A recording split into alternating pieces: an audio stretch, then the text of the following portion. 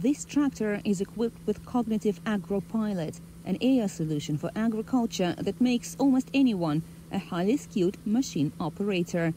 Using this technology, a combine harvester can identify unharvested areas, change its route autonomously, and send new information to other machines.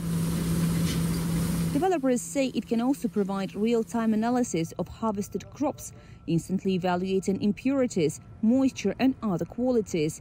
AI solutions like these are expected to improve employee productivity and help alleviate potential labor shortages.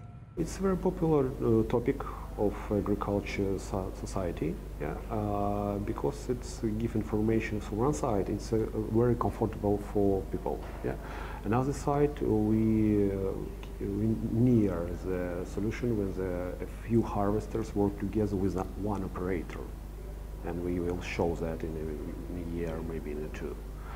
It's uh, reduce the cost for owners.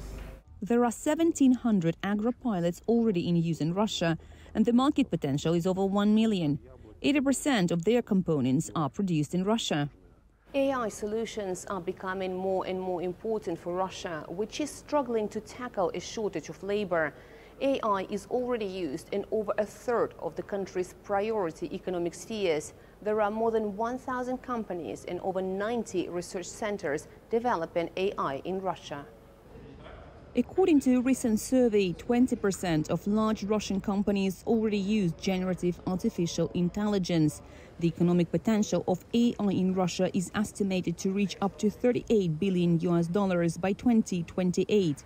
But experts warn that a shortage of certain technology because of sanctions and global scarcity could hinder AI development. The sector has also been hit by the departure of thousands of IT specialists from Russia following the start of Moscow's operation in Ukraine. In terms of uh, AI and its role for the local market, I, say, I would say that uh, definitely it will even help to um, solve the problem of the IT profession shortage, which we face as Russia and many other companies at the moment. Uh, by different estimations, uh, the shortage is around 1 million people, 1 million IT specialists. And uh, uh, that's quite huge.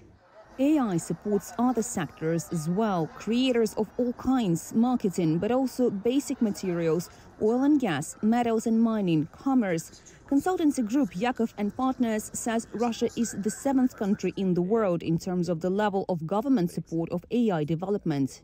It creates opportunities for our technological companies, for our businesses to uh, first develop their own solutions, second, and be not dependent on the international solutions, especially uh, within su such a period of time, then uh, it supports uh, us as um, just citizens in getting more and more advanced solutions and uh, making our life easier.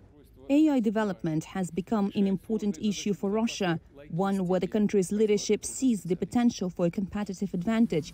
But to achieve that, Moscow needs to deal with two key issues a shortage of people and hardware